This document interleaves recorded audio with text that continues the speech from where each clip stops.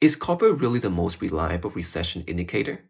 Let's put it to the test. If copper can warn you of a crash before it happens, would you not want to know? Hi, I'm Ace, and I've built my portfolio to 400k in under just 5 years. And I've learned that the best investors, Buffett included, track signals that the average investor ignores. Now, what is copper? Now, some people call copper Dr. Copper because they say it has a PhD in economics supposedly predicting recessions before they even happen. But is this actually true or just a cool nickname? Let's look at copper before the dot-com crash in 2000. Now prices spiked in September, then started falling.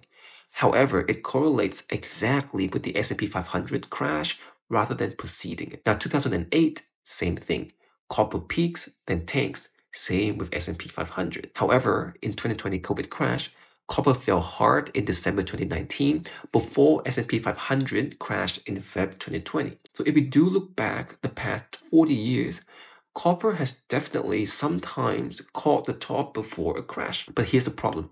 In many other periods, copper crashed at the same time as stocks or even earlier without a recession following. So is copper a useless signal? No, but it's not the magic bullet that people make it out to be. The smart move is to watch copper alongside other key indicators like the yield curve, manufacturing data, and my favorite 18.6 year cycle. And right now, in the 18 year cycle, we're in a late stage market, historically the danger zone, and copper is now at all time high. If it starts reversing sharply, history says the crash might not be very far behind. Now, Warren Buffett wouldn't speculate on copper itself, but he would use copper to test the resilience of his portfolio. Are your holdings built to survive a downturn, strong earnings, low debt, durable advantage?